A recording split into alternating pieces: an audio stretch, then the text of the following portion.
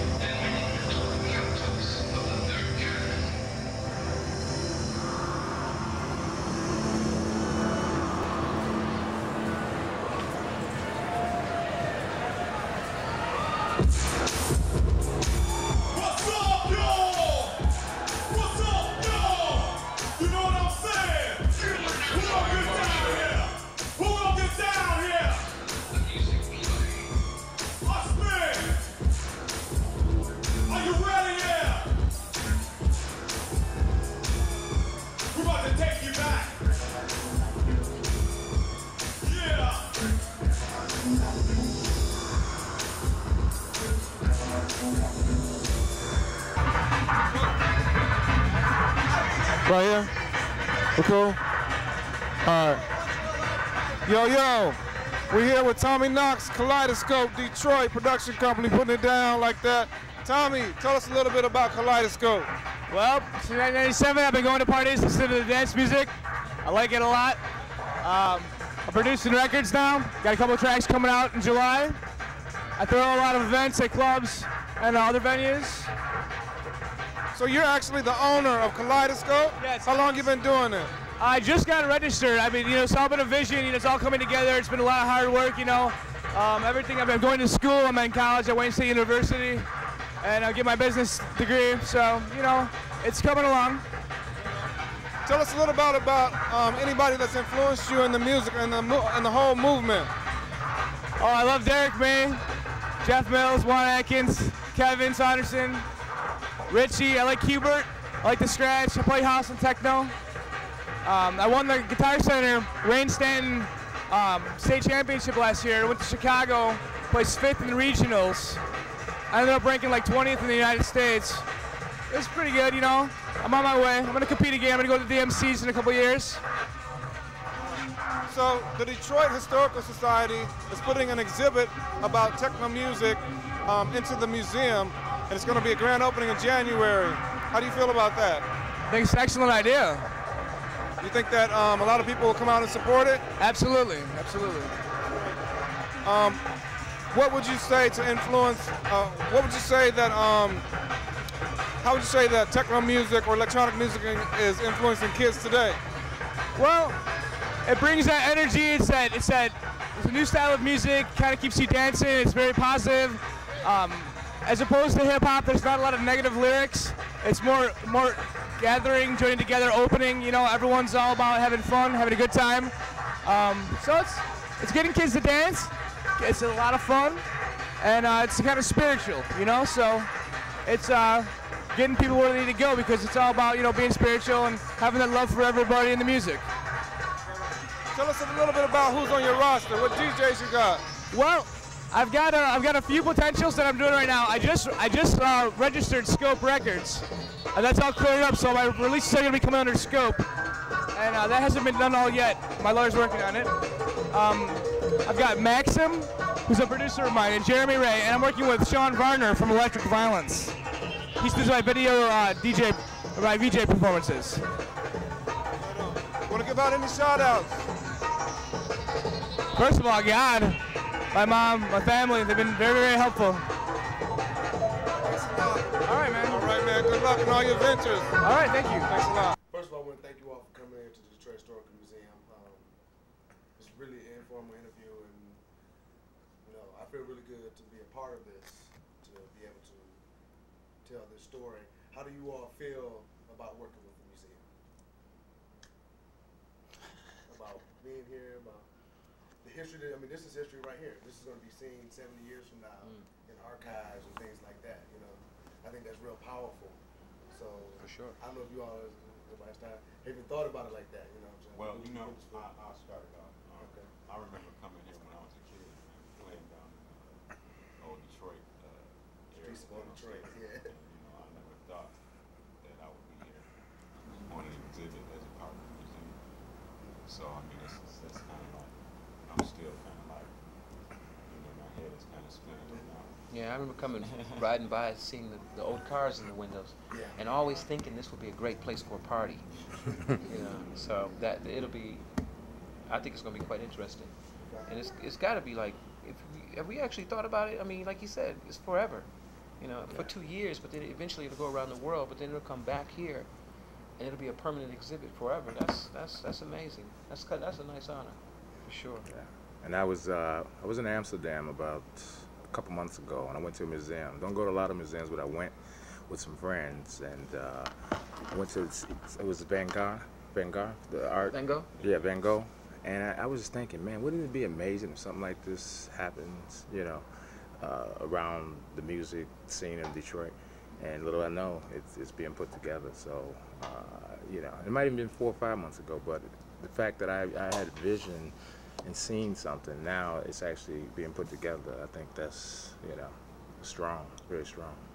Yeah, I'm just happy that uh that my kids can have a lineage to uh, to what we did, and uh, hopefully that when uh, Derrick has some kids, you know, I can come on down and you know keep it alive. And, I mean, you know, just some lineage to what we did as a young age. I mean, just the just the fact that you know it's been what 20 years how all these things came about, and it's just you know it's, it's amazing to me. It'd be hard for me to fathom something that has created such a global impact. You know, for something that just me, you know, I'm saying, because so much stuff I read, put my pants on one leg at a time as well as you are. How does that feel when you're traveling around the world, and what? The, how do you? What kind of feeling? Describe that feeling, because it's something I can't even fathom. You know, it The like feeling kind of- the feeling of traveling? experience. The traveling, not so much the travel, the impact. You Ah. know, the You don't realize it. difference. I don't think you really understand it yourself. Um, I think, I think uh, we move too fast to realize what we exactly what we're doing. Only something like, for instance, the festival. That's when you get a chance to really understand exactly the impact you you know you've had on people's lives when people come to you. But when you're running around the world, man, it's kind of like it, it's a bit like a blur because you're doing it so fast and you're meeting all these people and it's cool and you're making money and and you know you're just moving and it's great. But you don't really you don't really realize what you're doing. But then there's a moment like when you come home or when you do something, it's really like where people can does it feel approach you being around the world? all at one time from all over the place. Going around the world. And that has an amazing feeling. Playing. And that's when you realize exactly the impact that you've had on people's lives. Yeah. For me, um, back in 1988, maybe 89, when Inner City first came out, putting uh, Big Fun and Good Life out, I realized that there was something special there when I seen uh, one of the DJs play, play, I heard him play Big Fun, and the crowd had changed. Their energy, um, the, the whole building had became one. Um, it was very uplifting. It almost brought a tear to my eye. It was very emotional, and I, I think that um, it gave me inspiration to keep going. And I still get inspiration from traveling, seeing people, um, hearing them um, talk about how we've touched them and changed their lives in different ways. And that's that's very powerful, and it's something that keeps me going all the time. And I always like to stay working on music and traveling and stay involved with the whole whole scene. I, oh, Take your time. man. oh, okay. No, I think uh, it's kind of on the same same uh, parallel. Speaking as Kevin, but it's just that the people know the music that you make, and over there, and you get to like, wow, what you did at home, kind of like, you know, make their life uh, change, and to really study what you've done and really try to recreate your music, and I think that's was uh, was a, a kind of like a highlight for me to inspire to keep going because everywhere you go, people like, hey, I got your record from this day.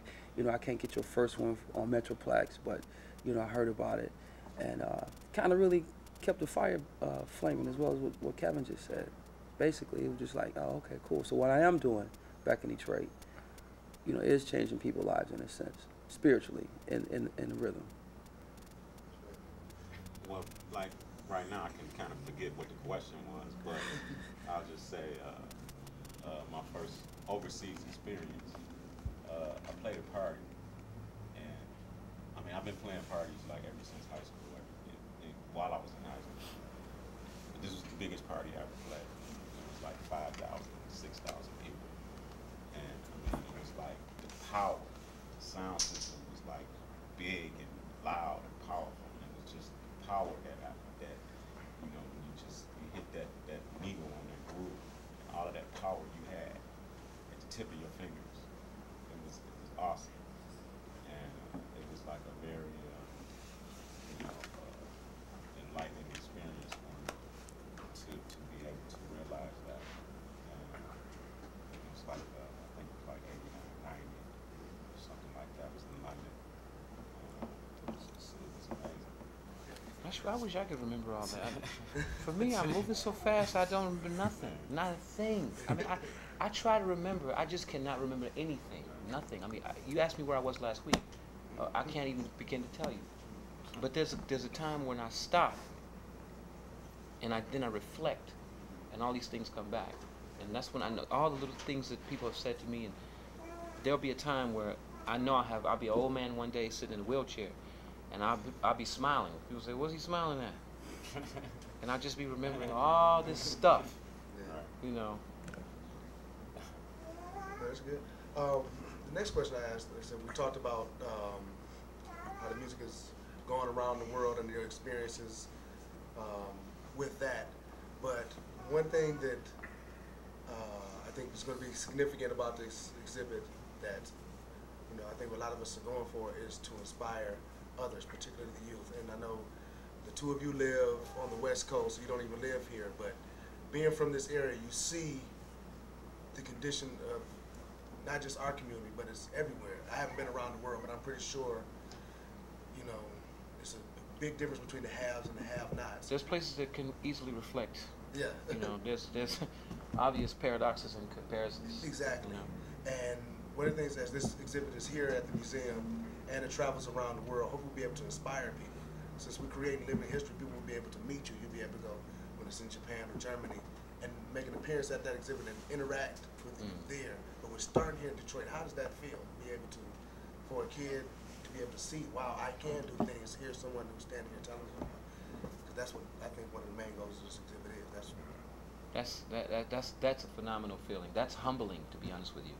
When you know there's there's going to be maybe one of your school teachers in here with her kids, that some who was teaching you when you were a kid, and she's going to bring her kids in here. You know, it, that's just amazing. I don't I don't know how many words there are for that, but that's just that's just unbelievable. you know, say whatever you know, whatever you feel. You know what I'm saying? you know what I'm saying?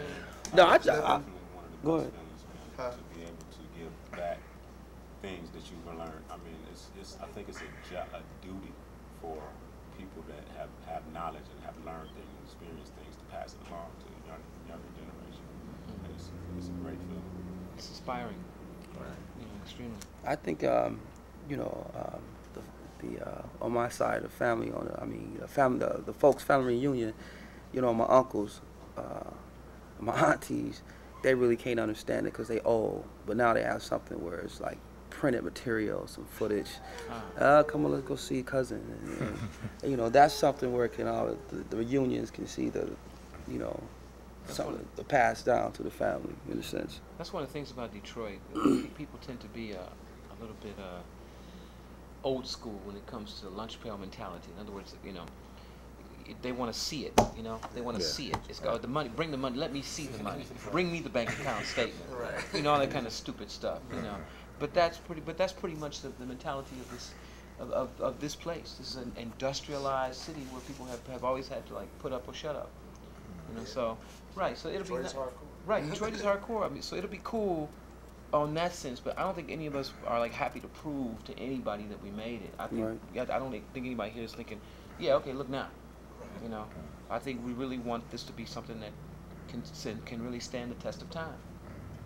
You know, and speak uh, volumes loudly, exactly where Berry Gordy left his legacy. And then this one took 25, 30 years, and, and now it's here. And where shall we go from here? You know, once we lay this down, we have to consider this to be just like the footpath to where we're gonna go. And I think I think that's really inspiring too, because we know we have a lot more to live up to once this starts. Because people are gonna be expecting to read about us at the same time, still know what we're up to. Right. You know, we just can't fade away after this. Exactly. You know, we're setting ourselves up for some major shit. That's good. Exactly. You want to add? You good? They covered they covered everything. Ain't nothing I can say. Well, uh, like I said, I'm gonna bounce around, and whenever this interview gets too long, y'all just tell me to cut it off. You know what I'm saying? no, but, no, Already whenever. Huh? None, go ahead. No, Can no, I man, just, just, just, just, a little louder, just a little. Okay, yeah, speak a little louder. Okay. I'll ask you. They get restless, the babies. Um, huh? You Yeah. know. My next That's question, normal. like I said, I'm gonna bounce around as the questions come to me. because I do not have anything documented. Right. It's been a long weekend. Yeah. Uh, like I gotta tell y'all. Yeah. But um, uh, being from Detroit, like I said, I'm just drawing personal. I'm just speaking honestly how I feel because I'm enjoying this right here. You know, this is what I like to do. Um, the dialogue part, the entrepreneurial spirit that you guys exuded. Actually, starting with you, uh, Juan, to be able to step out there and create You know what I'm saying? Not just tackle it, tackle things just from an employee standpoint, the lunch and pail thing that you were speaking about earlier, but you know, we willing to take the steps out, just, just step out there and empower, empower, empower and inspire people to start their own businesses and, and, and go for it. Sometimes it works, something, you know, you learn things along the way, but people can learn from your mistakes. How do you feel just from the entrepreneurial spirit, you know? Before he answers that question, I gotta tell you a story about him. Okay. When we were young, really young, he, he, he had a he had a dream from the very beginning that he was gonna do this thing called Metroplex. I mean, I remember him telling me at like 17 years old or 16 years old, I'm gonna do this Metroplex thing. I'm definitely, you know, this this I'm gonna make a record label. I'm gonna call it Metroplex. I mean, and his whole reason was because he felt like black people just could not get a fair fair break when it came to uh, any kind of music other than one kind of music. You know, so I just wanted to add that to whatever you're about to say. Well, basically, uh, I mean, what I did, whatever I did was was was from the heart. I mean, it was no blueprint, there was no plan, there was no manual to say, uh, you know, this is the step you got to take to get here, and then you got to take this step to get here. It's a work in progress. No, none of us knew what the hell we were doing when we was starting out, you know, and um, and it was it was all about just doing what you love. You know, everybody out here here at the table, I feel, has a, a certain love for music, and and got into it, and and just did it, and everything that had occurred behind that was just we had no idea. We had no idea that we'd be traveling around the world based on what we were doing in the basement. You know, uh, you know, two or three years prior to that. You know, uh, this man had no idea he had, you know, gold and, and platinum in, in Europe. You know, uh, none of us did. You know, so it was just about having fun, and it, it was it was a method to the madness. But you know, we we would, you know, none of it was no idea, no concept of what we would be doing like ten years after that. Yeah. Indirectly, indirectly, you did have a concept. Well, yeah, I mean there was a Because you like I always there was a formula, but there was no plan. If you can understand that, Yeah. it's like you mix chemicals and you hope for a certain result, but when the result turns out ten times better than what you thought, Pow. You know, Yeah, but you had a you had always believed that you could do it. I mean, so that was already the plan. That was a hell of a plan. You knew you could do it. You told me a thousand times you were gonna do this. You said you were gonna do it. but we never knew how it was gonna actually pan out. No. No, but It's you, impo- he, yeah, had, he had a record label called Deep Space Records, okay, and that was already uh, commerce, uh, entrepreneurship. He had already started. He he knew exactly what he was doing. Believe me, he's being modest. He knew exactly what he was doing. He knew that he couldn't get a major record label deal. He knew he had to do it on his own. He knew he had to make some room, you know, in his own, in, in make his own closet to store his own goods. Believe me, don't. Juan's being very modest. Well, I think it's, it's all about control too. Like for me, for instance, I was doing something that I love doing. At the same time, I want to be able to control it and and know, you know, every in and out about it. Um, I remember I was working at uh, Domino's Pizza. Uh, I would, uh, I tell you, I would I would sneak on the phone. I'd be calling distributors. I'd be calling people, and I was running my record company and, and working a job.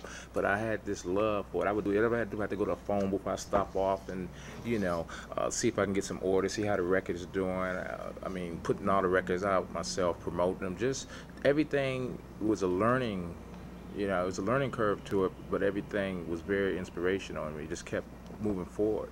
And uh, for me, my parents, um, they kind of were like that, and I think it rubbed off, you know, and I, that energy of, of just wanting to do yourself, wanting to uh, build and, and keep pushing forward, not knowing what, what the end result was be, but that's that's you know, it has to come from a certain come in from inside, and uh, you know, for me, that's that's where it came from. And then, of, of course, the competitiveness of, of bouncing off these guys. You know, if Juan made a record, uh, then Eddie made a record, then Derrick made a record. Hey, I'm making a record too. I can do it. You know, um, grew up playing sports, and it, it, it makes you competitive in a nice way and, and push each other. So, for me, I mean, mine's was like more or less economically. If I could have did it all over, I would have slowed down as a person to take a step back and really read more on the business aspect of it. But that didn't happen. But I want to have more artistic, spiritual vibe to keep me around because I love mixing, I love DJing, but at the same time, I love making music, and I love playing the chords, the scales, the progressions, and uh, and I'm glad I put more emphasis on my music as in the years uh, before, but now as I got older, I'm more and more uh, contractually um, woven to really maintain the business side of it to the full degree and to the full extent. But I mean, you know, you live and learn, and um, you know, you see, and as you grow up, you see the different angles. You get to learn different characters. So therefore, you know, I kind of transcend that over into business relationship, and because our music is so big, and when we started, it's like everybody wanted a piece of the action. So, you know, the more and more, you know, that you take from the past, you know, it kind of helps you out on the economic side too, because you know exactly how you want to go as your career, as well as you want to take care of your family. So, you know, that kind of sum it up, you know, for me, and that to answer your question. Well, I'm just going to throw out a general question. You don't want some water or anything? Wrong. You know what I'm saying? Just flat out wrong. Um, but before you guys, by the time we finish with this, we'll be immortalized together for forever. We'll all be gone before this before this leads building to be gone. So I just want to, you know, talk about the early days, how you all met, you know what I'm saying? I mean, things how people took different paths and different roles and things like that. But y'all stuck to it. Everything is full circle. You know what I'm saying? Ironically, everybody here has met because of me, and I didn't mean for that to happen. Almost everybody in the whole techno scene in Detroit has met through me, and I didn't mean for that to happen. But uh, I knew Eddie. I knew Juan first from Belleville. We went to school together. Um, I knew Eddie because we were in a group called the Motown Varsity Squad in Detroit. Low and AD. That's right. That was a long time ago. And that's that's how I knew Eddie. And I really got to be friends with Eddie later, but I knew him at that time because I actually tried. I liked Eddie as a, he was a nice guy, you know. But he was about to get into a fight one time, and I grabbed this stick from him that he was going to hit this guy with in the Masonic Temple. And the, the organizers of the company, M- M- Motown Varsity Squad, Low and AD, they saw me with the stick, and they kicked me out. you know. I remember that too. And I tried to help him. Right. I tried to stop him from hurting somebody at the coat check. You know, and they and they kicked me out for helping him. So we got to be cool like that. But it wasn't. We weren't really tight. But I knew him, and later on we would bump into Eddie, you know, here and there, and he At. Roscoe. That's right. That's right. I, I went to school. Yeah, went to Wayne there, State. Right there. Yeah, Roscoe. Yeah. It, it- It it- was it- me, Brian Bonds. Kevin, I knew, I knew actually, I knew, Ke- I knew Juan first, and I knew Kevin. Kevin and I got to know each other through various reasons. I, Kevin, I used to make fun of Kevin all the time. I used to tease him, and and Kevin eventually punished me for teasing him. But we were teenagers, so you know we became good friends after that. And I introduced these two, and I introduced these two. You know, so uh, that was that was 20 years ago almost. You know, that was a long time ago. So since then, everybody has really developed. Really, I mean, there's differences every now and then, but I think overall we got a real history, and we really enjoy and have always enjoyed each other's company. And just somebody we leaving on, my brother Aaron Atkins. Oh yeah, which- for sure. which- Which was which was the in their class. See, they they Yeah. all were in the same was class. right. I was at like a year year ahead Sick, of them. what school? Belleville High School. Bel- Well, it was North North Junior Junior High. It was North Junior yeah, High. Belleville, Michigan. And my Westwood brother's like a year younger than me, and they are uh, like a year younger than me. So they, so my brother kind of like brung them around me, Right. Okay. you know. And uh, if it wasn't for him, I would have never met Juan. probably would wouldn't know these guys. Because right he was now. playing, he used to he used to write his own music. And when he was like 13, he was actually writing scales, you know, playing bass and stuff like that. And I used to look at him and say, "What are you doing?" And he thought I was he thought I was a strange guy, you know. So you know, he didn't really talk to me too much. And uh, we got to be friends uh, through playing chess. That's how Juan and I got to know each other through playing chess, you know. And uh, well, you know, just a little bit of history there. Yeah, I mean that's what you know. That's what we're doing here, gathering and stuff. Um, I used to beat him every time. he wish he still can't be. know what I'm saying? Right. But um, why? Like That I- put out a record. I don't think about talking about this stuff because it's it's just it's all like second nature to me. So it's like to me it goes without saying. I mean, it was natural for me to, to start my own label, to put out my own music, because I wasn't gonna wait for somebody to come along and uh, and say, well, you know, this is this deemed what I was doing as good. I deemed it myself to be good, so therefore I believed it enough to put it out myself. You know, but sometimes I might take for granted that people already understand that, you know, but I, you know, I forget that people don't know what it's what it, what it takes to start a record label, or uh, to become an independent producer, or to you know to pro- to produce and create and and and release your own music, you know, and uh, and sometimes I forget that you know people don't know about this. You know?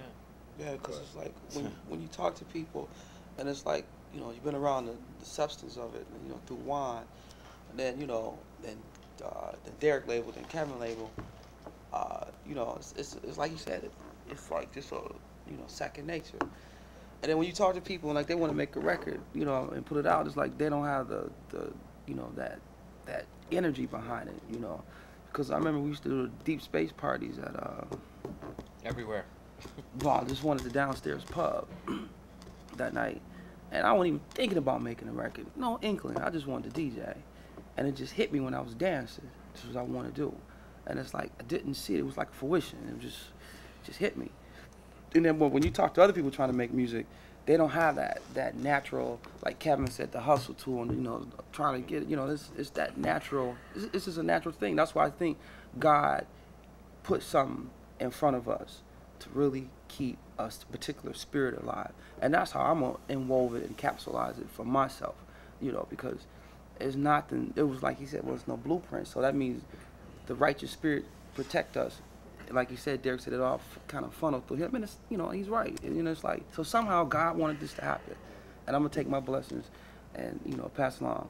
But, you know, that's that's the aspect that I really want to relish with, with, you know, in this footage is that God put us here for a reason, and I want to give thanks to God and you know and make sure it just passed on down because this music is a more spiritual thing, and like Derrick said, you move so fast, you don't feel the spirit until you have time to relax, you know. But God is really taking care of us, and I you know I take my blessings, you know, and pass it on down.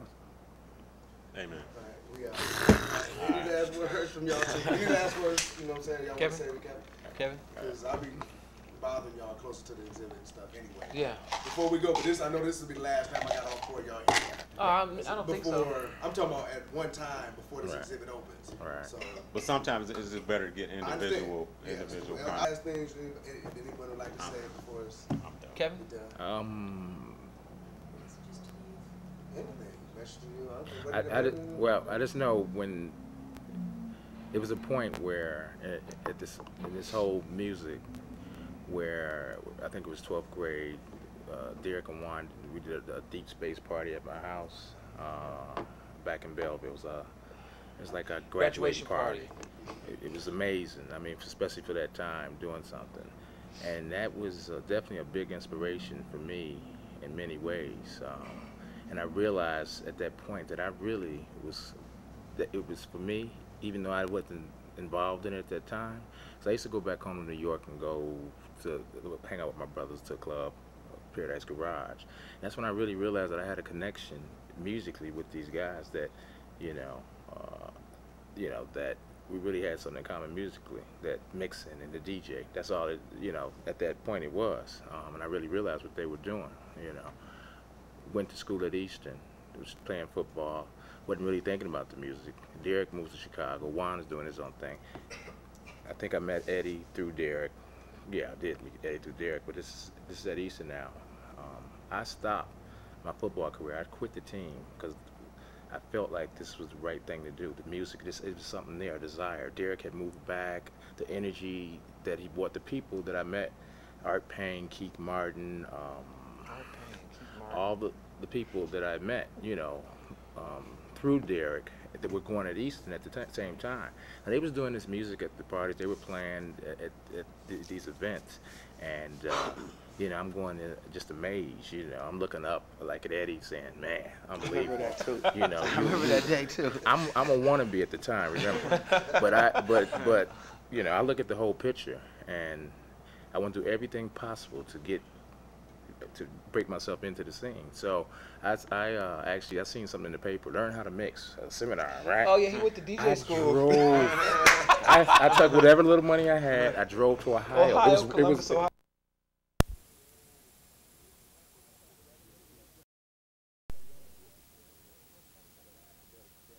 you know, I look at the whole picture and I want to do everything possible to Thanks for taking a couple minutes. I want to, I just want to ask you a couple of questions. What does techno mean to you? It's something alright, man. It's something great. I like it. It's lovely, man. I mean, it means something like another type of world, man. When you get into it, it's another type of world, man. I do the techno rap, man. You know what I'm saying? Have my bands flip on the stuff. You know what I'm saying? We just blaze off into another world, man. Right, it's, right. it's very great, man. And techno need to be here in Detroit, you know what I mean? Need to be here in Detroit, man. Because we need this, we need this new type of scenery, man. 'Cause it ain't too much really here, but we need that new type of scenery. Right, especially it's from here. You know what I'm saying? Yeah, it's, it's, yeah, it started here, You man. It started here, it started here. But you know what I'm saying? When it started here, it left though, man. It, it left and everybody took it to wherever, whatever. And then I see, you know what I'm saying, they trying to bring it back. It's lovely, man. It's great. Know what I'm saying? I'm gonna be a part of it, man. I'm gonna be a part of it. You know what I mean? It's, it's too much to it. I'm gonna be a part of it. Okay, good, good. Let's ask you one more question. Um, like, as I said before, as you know, the music was started here, and we're doing an exhibit, what's it said, for the Detroit Historical Museum. And what kind of impact do you think you have that that'll have, or not just, it's going to start off here in Detroit, then it's going to travel the world. What kind of, what do you think that the kids can learn, and just young, not just kids, but people can learn from these four entrepreneurs who started this type of music. Now it's global, now it's back here in the city.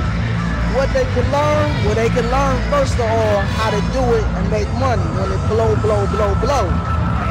Basically, that's all. Just learn how to do it, make this money, and you know what I'm saying. Make sure you go down in history in the name, dog. You need that name. Make sure you go down in history with it, and they can do it. They can get it. They gonna go down in history if they do.